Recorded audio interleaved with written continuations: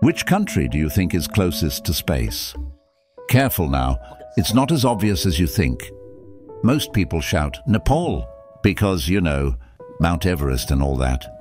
But what if I told you the real answer is nowhere near Asia? So, Earth isn't round, it's flat. Just kidding. You see, Earth isn't a perfect sphere. It's slightly squished at the poles and bulges at the middle, making the countries along the equator to actually stand a little closer to space than the rest. So the winner is Ecuador.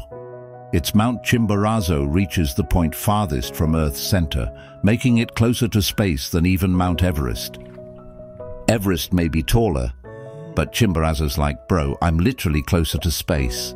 But seriously, the world's shape does make Ecuador the real space neighbor.